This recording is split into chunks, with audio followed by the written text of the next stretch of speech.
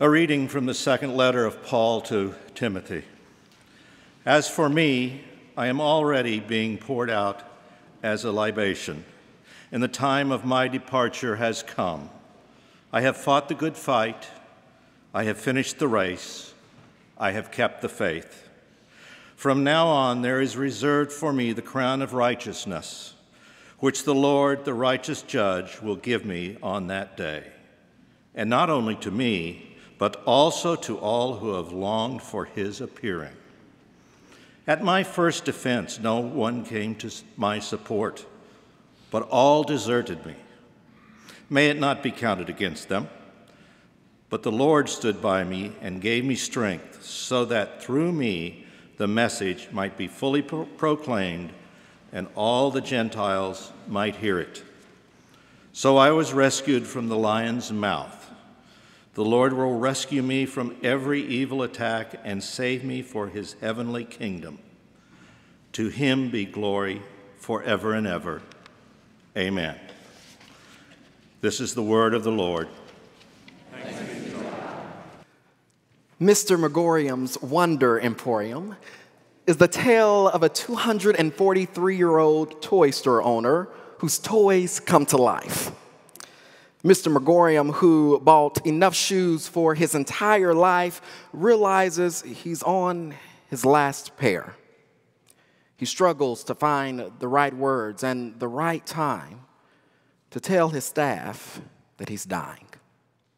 In one particular scene, Mr. Magorium shares with his top associate, Mahoney, that he's leaving the store in her hands. He first gives her a cube, a block of wood, and tells her if she believes in it, she has faith within it, it will take her on new adventures within her life. And when Mahoney expresses doubts about running the store and begins to get upset, he finally gains enough strength and finds the right words to tell her that he's dying. He looks deep within her eyes and he says, When King Lear dies in Act 5, do you know what Shakespeare has written? He writes, He dies. No more, no fanfare, no brilliant ending, no final, real big words. The culmination of the most influential piece of dramatic literature is He dies. And yet, every time I read those two words, I find myself overwhelmed with dysphoria. And I know it's only natural to be sad, Mahoney, but not because of the words he dies, but because of the life he lived prior to the words. Continuously through this epistle, we find out Timothy has doubts and struggles and feels he lacks ability to be the chief pastor in Ephesus, who he was appointed to by Paul. And during these doubts, Paul does not give Timothy a cube, a block of wood to meditate on, but he gives him his calling and pushes him in believing in this calling because if he does, it will lead him to new routes and new journeys and new adventures within his life. And in our passage for today, Paul is still encouraging Timothy. But Paul is also struggling to find the words to tell his protege he's dying. And I'm sure this struggle has to do with the life leading up to his death. See, Timothy and Paul are not in the most convenient or comfortable places within their lives. Timothy struggling to pastor churches in a time where luxury and image took precedence over righteousness and sacrifice. It seems everything he's doing is countercultural, pastoring during a time when the survival of the Christian community seemed highly doubtful. Times haven't changed too much, have they? it's what many of us face today in our world. And I'm sure when Timothy uh, gets the letter from the personal carrier, he has a sigh of relief knowing his mentor is still alive. But as he reads, I'm, I'm sure he becomes more and more distressed. Reading the words and thinking of his friend Paul sitting in prison in the house of darkness, in this dim, dark chamber, alone and deserted. See, to be deserted by all was not just Paul's way of saying he's scared and lonely, but this phrase plays a role in meaning Paul's source of food and water has departed as well. Securing a nourishment fell on the shoulders of the prisoner's family and friends, and at this time, Paul has no one. Just imagine Paul sitting in his cell, holding the few pieces of paper that he has left, with a jar of noticeable dried out ink, trying to write his last letter. And as he gets closer to the end of this letter, maybe Paul looks up from the paper and he sees a cup with a little bit of water left within it. Water he's been slowly drinking to savor each bit, not knowing when the next cup would come. And he remembers the quote he used the last time he was in prison, writing to the congregation in Philippi As for me, I am being poured out as a libation. But this time, instead, he, he doesn't add, and I'm rejoice with you, and I'm glad with you. But he says, and the time of my departure has come. Realizing this really is the last drop. Paul's metaphor is one that yields great influence. He uses this image of a libation, a drink poured out as an offering to a deity to show his essence is being poured out as a sacrifice to God. One writer notes a libation carries special significance. It points to the very usefulness of something to drink. Paul does not choose a pouring out image to suggest wastefulness, but one rather that has a savoring nature.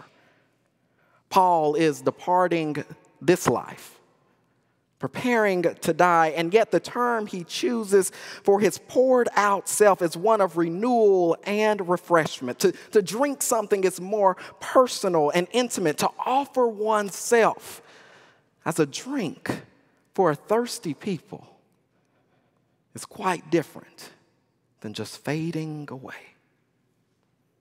Paul realizes he's not just a drink for a thirsty people, but also for a thirsty God.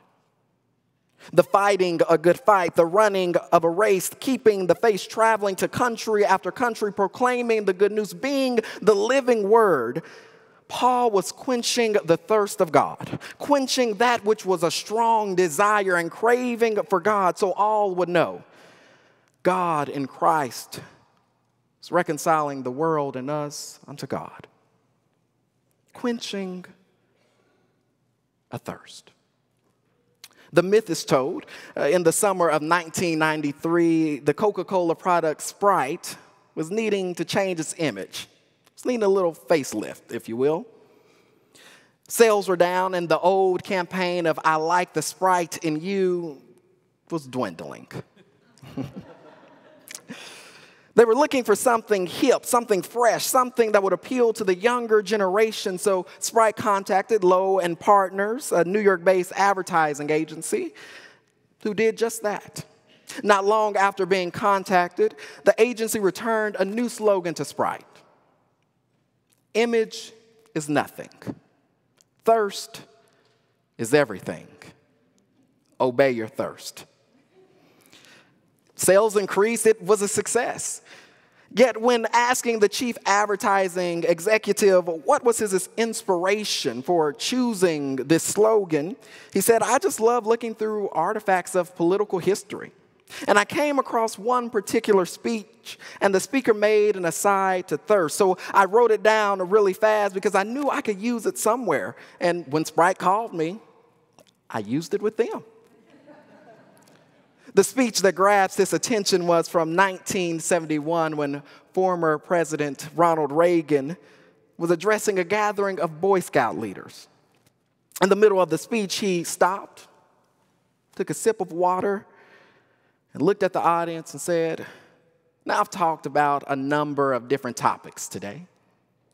But if you remember one thing one thing, remember this speeches are nothing, thirst is everything.